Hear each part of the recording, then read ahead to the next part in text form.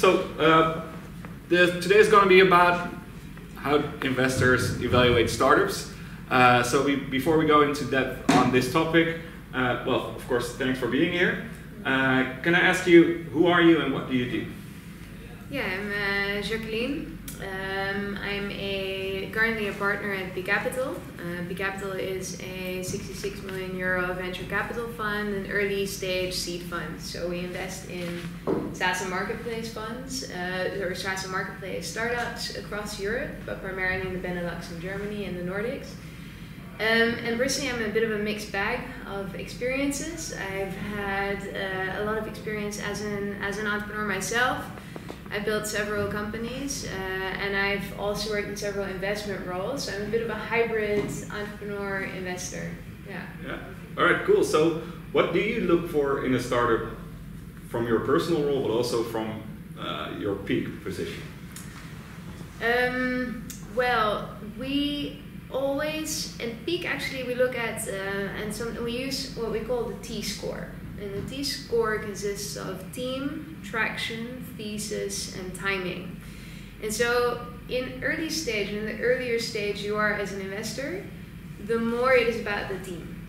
Yeah. So, how yeah. do you value a great team? What are triggers for a great team? Yeah, triggers for a great team. I think. Well, one thing that absolutely helps and is a big plus is that you have some prior entrepreneurial experience.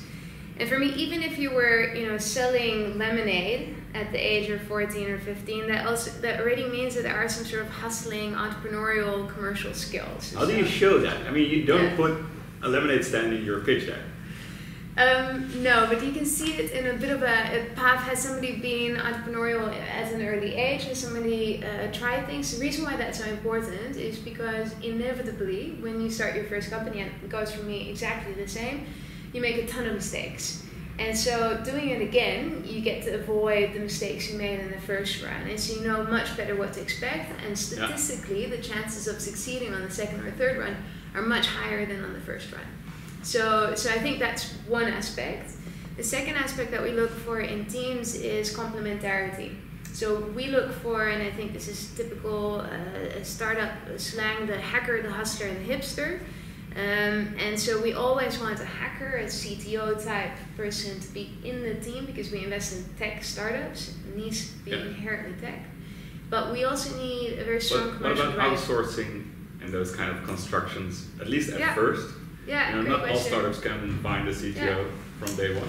I think that's okay. It depends a bit what kind of business you have, right? If you are a deep tech business, outsourcing is not an option. If you're more of an e-commerce play and, and tech is less central, you can do make do with, I don't know, freelance developers in Hungary. Yeah. Um, as long as ultimately the tech leadership, so the CTO, the architecture is within your founding team Mhm. and has a significant stake. So what we also don't necessarily like is hired CTOs, people who are on the payroll but don't have a strong equity stake. All right, cool. So that's team. What about the other three teams? Yeah. So so um, so thesis. Uh, what we look for in the thesis. The thesis is what do you do and what is the problem that you solve and how do you solve it? How much value do you add uh, to your customer? Can you give a great example? Um, well, an example would be uh, something such as Slack, right? Slack is uh, a hugely valuable company because you use it every single day and it's at the core of your business. Um, now, you can compare that to something that is more of a feature, right? Uh, say, well, a chat bot can either be core to the business, but it can also just be a nice to have feature on top of your business. So the question is how central, how much value um, do you create? And there's a great test for that on product market fit. It's called the Sean Ellis test. Are you familiar with that? Yeah. Yeah. So the Sean Ellis test uh, asks your customers, uh, what would your life look like, or how would you feel if we stopped to exist, if we ceased to exist? And so if, if that is you know a major problem to your customer, you know you're creating a ton of value, and it's not a nice to have but a need to have. The painkiller Usually, you should have over forty percent to have product market fit, right? That's absolutely right. Yes, correct. So, so we look at the value of the solution. We look at the market size. Um, so it's pretty standard. And a third thing that we obviously look at is uh, how competitive is the space. Yeah. Again, for example, in the field of, of chatbots, you see that it's getting wildly competitive. Um, and, and, and or, or, or you address a very particular niche, right, in which you can create a certain value. Yeah. So, yeah. All right. So yeah, the last key was timing. So how do you influence timing? Well, traction and timing, yeah. Um, timing to us uh, is uh, a bit of a question of all the previous, all of the above, uh, but timing is also how much money have you raised to date. If you've raised, say, a million, two million, and you're now at 20k MRR, mm, that raises some questions. Uh, how much Just for the Yeah. really beginners MRR being. Oh, sorry. No, that's okay. Monthly recurring revenue, which Alright. is uh, one of the uh, key KPIs for any SaaS type business. And recurring revenue is the holy grail of, Yeah. of uh, SaaS businesses. Um, but we also look at, for example, founder equity. So has somebody diluted quite a lot? So if you raise too much money in an early stage, then what happens is that founders dilute below a certain threshold. And when founders have, for example, less than 50% uh, equity at the phase of a seed round, that's problematic because they're going to dilute much further down. Mhm. And then the question for an investor, because an investor always has a risk perspective, is how motivated is somebody to, to stay? Because when it, it gets rough, and it will get rough, Mhm. right? When the sailing Yeah. gets rough, then people might at a certain point say, well, you know, I don't have enough skin in the game, I'm going to move on to my next big idea. And Yeah. then the investor, you leave the investor hanging. And yeah, so, th- so those are a couple of factors that we Yeah. consider. Yeah. All right. Um, so you said you're quite an early stage investment fund, uh, but at the same time, do you invest? Are you usually the first investor in a company or a follow-up investor? Yeah, so we are normally the, the seed investor, and often the companies that we invest in are either bootstrapped or they have angel funding. But normally we're the first institutional or investor that, that comes on board. Yeah. Yeah. So either uh, when they're looking for amounts that you provide, or you know, lower like angel investors, for example, Mm. when do you think startups should look for funding? Uh, when you need money, uh, that's a good point to start thinking about it. Um, but it depends what kind of phase and what kind of type of investment. So, so when you're just off the ground, you have an idea, you have, you're looking for product market fit, you have no or very little commercial traction. At that point, you probably want to consider an angel. And in that phase, the value add is not just money it's very much you should really look for an angel investor who you know is active in your space has a network in that space uh, who can really be an active collaborator Yeah. that's important um, then i think you you look towards a vc and a vc like the capital seed stage vc can come when you have some sort of early proof of product market fit and what gives you proof of product market fit it means that you're starting to have some commercial traction. So we invest either in ex- very experienced entrepreneurs with a proven track record which can be pre-revenue Mm-hmm. or uh, at the moment that you start to get a little bit of traction, and that can be very steep growth in a three month time frame, or, or decent growth in a 12 month time frame. So, Yeah. yeah. And after that moment, uh, I remember from an interview with one of your partners, Johan, saying, Yeah. whenever we invest, it's pedal to the metal. Yes, yes, yes. Uh, I mean, the venture capital model is is that you make a 10x return Yeah. on any investment that you do. Why? Because uh, part of your investments will, you know, will, will likely go bankrupt. That actually never happened with Peak Capital, but I mean that is typically the VC model. Mhm. A couple will make it uh, to a medium-sized business, and so the VC model relies on you also investing in, in, in a, a type of unicorn.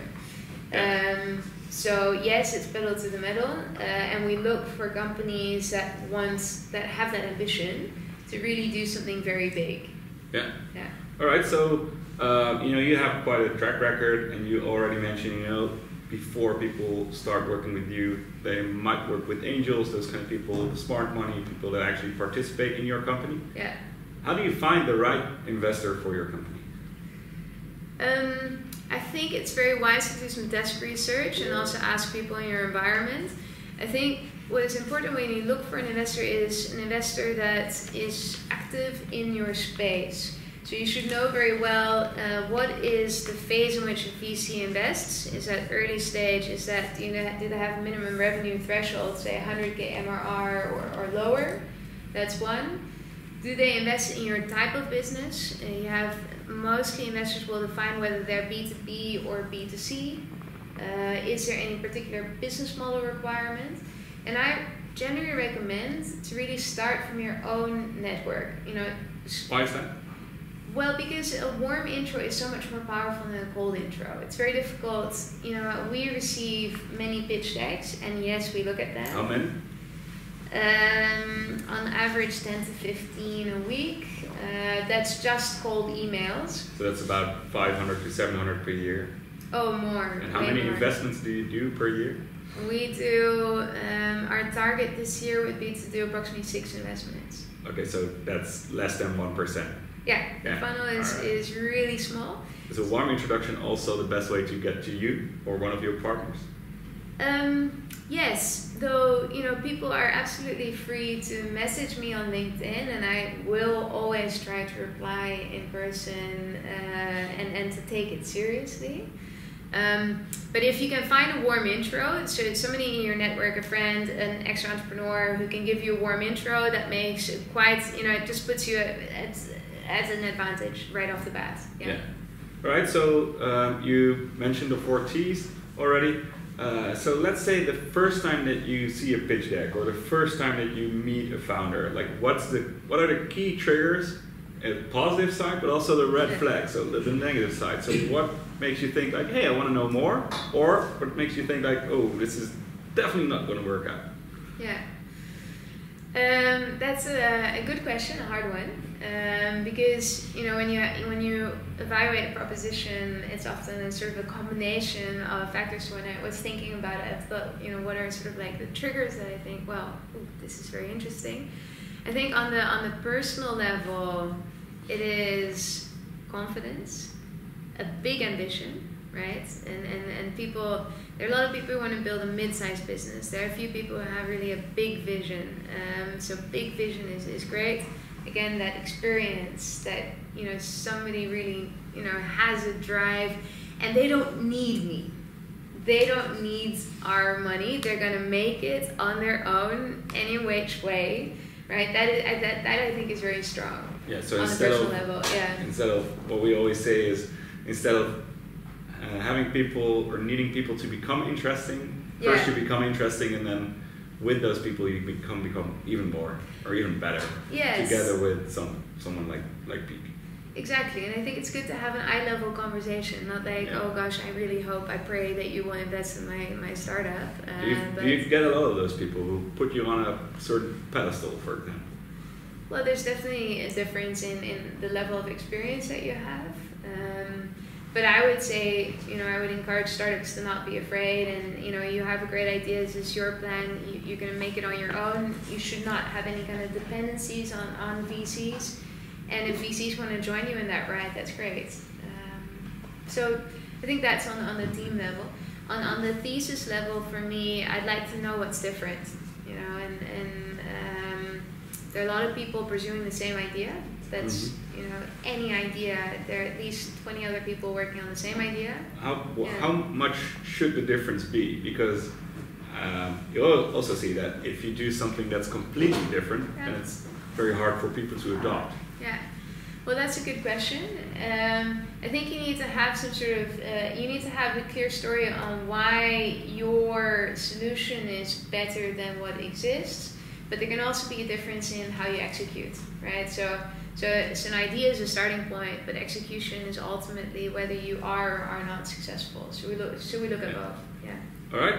Yeah. Um, so whenever you think, okay, this is becoming interesting, either through an introduction or a first meeting or a pitch deck or any kind of trigger, what's next? What's the process from that moment on? Do you reach out or do they do a follow up or what usually happens yeah. up to the point that you actually have let's say the final negotiation and you do a term sheet and so forth. Yeah. Um, well, it's generally a process of several meetings with me and some other partners. So the first thing that we need to establish is do we, you know, do we really connect with the team? And that is a relationship. It's a bit of a dating relationship. You know, you don't know after one date whether you're going to marry your future husband or wife, but it's it's a bit of building a relationship and, and yeah, at the personal level, I think, and starting to understand the business. So I think you should expect, you know, in such a process, three to four meetings uh, at partner level, um, and you will have to share everything about your business. You, I mean, your deck and your your financials, and there will be a lot of like there will be a lot of digging by how, how long does that usually take? Those three to four meetings. I think in a in a relatively efficient process, it should take two to three months. All right. Yeah. And after the three to four meetings, or at the end of the three to four meetings? Um, well, so every time you get to the next meeting, that's a good thing, right? So a, a VC will every time evaluate do we want to continue, yes or no.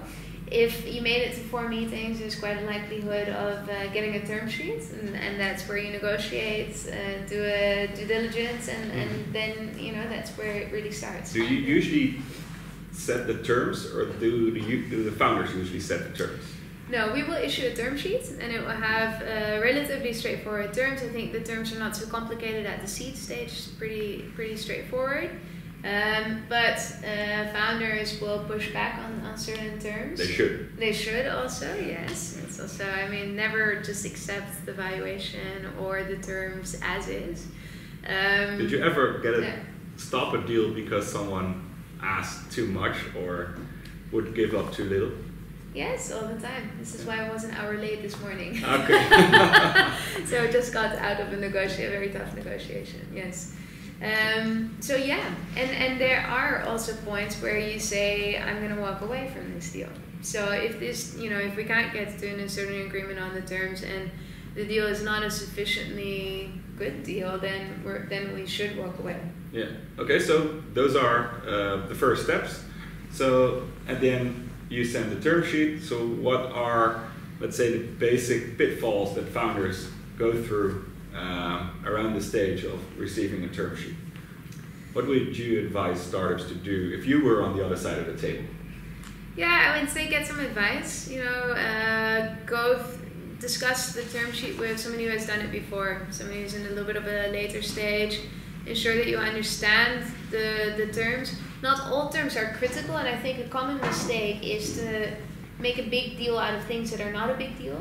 You know, you, you need to see the whole VC game as a very long term play right? You're gonna you're gonna go into a 10 year relationship to, so to get really stuck on the nitty gritty it's not a good idea. Focus on the real terms that, that are really important. I think those are valuation terms those are obviously important. Um, uh, lock up and leaver terms are probably important for for for a startup.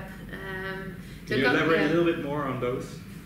Lock-up and leaver rights are basically define that as a, s- as a founder you cannot sell your shares uh, before a certain term. Vesting terms are always important. Uh, so you might be the founder and hold all of the equity, but a VC will make you agree to terms that if you leave, you know, before a certain date, uh, that then part of your equity, uh, yeah, is, is uh, you don't get part of your shares. Yeah. Um, so that is an important term. Mhm. Yeah, those, those are the some of the more important terms. Yeah. Yeah. All right. Um, so, um, you know, as you mentioned, um, when someone thinks or realizes, so I want to work with investors, or my com- company actually needs investors. Uh, you know, we briefly discussed, you know, warm introductions, your own network, those kind of things. But, you know, there are also a lot of people who might probably don't have that network, or have a lack of a network, or small network. Uh, so, what would you advise those people? How do they still find the, the right people for their for their company? Um, well, there's always LinkedIn. I think if you do your research well, you can find the right VCs uh, and then uh, and then connect with a VC partner on, on LinkedIn. I think that's okay. I get that, and and that's okay with me. Never ever send a cold email. We've also gotten you know mass emails to a whole bunch of investors in the BCC or in the CC. Hi, this is my great idea. Uh, that's an instant no. Um, so I would just you know go the LinkedIn route, but Yeah. know be sure that you know that that VC is actually in your space. Yeah. Uh, yeah. How, what was the best way someone ever reached out to you? Ooh, well, I've only been a VC for six months, so I haven't had very Okay. spectacular stories uh, in that respect. No, I think just. Uh, All right. Yeah. Okay, so for me to wrap up, um, if you would have to give one piece of advice to early stage startup founders looking to partner up with a VC, what would their well biggest best thing to do be? I think you need to realize that uh, a VC investment is playing the long game. And both in building relationship, even way before you're starting to, to raise funds. So I would, you know, I think it's quite okay that even if you're not ready to raise funds yet, you already connect with VCs and, and maybe you can say, you know, could we have a coffee? I'd love to get your input, some idea. So you already start building that relationship very early on. When is an, is a VC interested to start building that relationship? Again, it helps if you have a personal relationship, Okay. or, or if you say, well, you know, I know you're very active in that space. Would you like to spend some time with me? Yeah, and is it just asking people for coffee, or what is the best way? Because you know, Yeah. like ten years ago, it was just like, "Hey, can I buy you lunch?" Yeah, But I've noticed that in the last several years, it's more like, "Hey, can I bring you coffee?" yeah. Are there certain ways, or is it just does it vary too much per person? Um, think a coffee is a good idea. I think a lunch is expensive for startups, so don't spend your money on, on taking investors to lunch. But um, and a coffee is, is just fine. Um, don't try to bribe investors. I have had somebody bring me presents, and I did not yet invest in this person, so not necessarily uh, the, the the best idea. But um, I also mean playing the long game in the sense that you will get rejected, right? It's inevitable. If you're gonna have a startup and you will pitch it to several VCs, you will receive rejections, and it's important to think about the way that you handle this. Because if you never respond again, uh, or respond in a negative way, and we've had that, that some people say, you know, well, I can I can do this without you, or, something, you Yeah. know, some some Yeah. some negative words there.